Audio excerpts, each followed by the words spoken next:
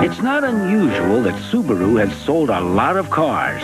What is unusual is how many of them are still running. An astonishing 92% of all Subarus registered since 1978 are still on the road.